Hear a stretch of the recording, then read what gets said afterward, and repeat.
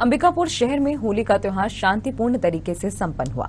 होली के दिन शहर में शांति व्यवस्था बनी रहे। शहर सहित ज़िले भर में पुलिस व्यवस्था दुरुस्त की गई थी। विभिन्न चौक चौराहों सहित गलियारों में भी पुलिस के जवान तैनात रहे। साथ ही पुलिस की पेट्रोलिंग पार्टी के द्वारा लगातार शहरों का भ्रमण कर हर गतिविधियों पर नज़र रखी जा रही थी।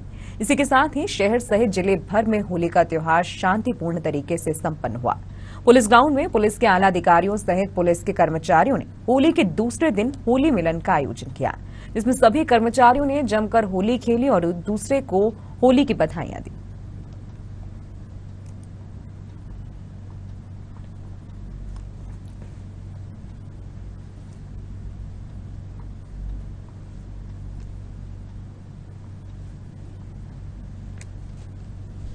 कल होली का त्यौहार था।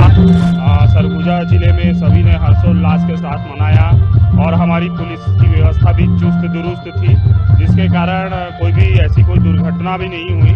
और आज जैसा एक परंपरा है सरगुजा ज़िले का भी और पुलिस विभाग का भी एक परंपरा है कि होली के अगले दिन पुलिस की होली होती है। तो आज सभी हमारे पुलिस के साथीगण, हमारे पुलिस अधीक्षक महोदय के नेतृत्व में पुलिस लाइन में हम लोगों ने सभी ने हर्षोल्लास के साथ होली मनाई है।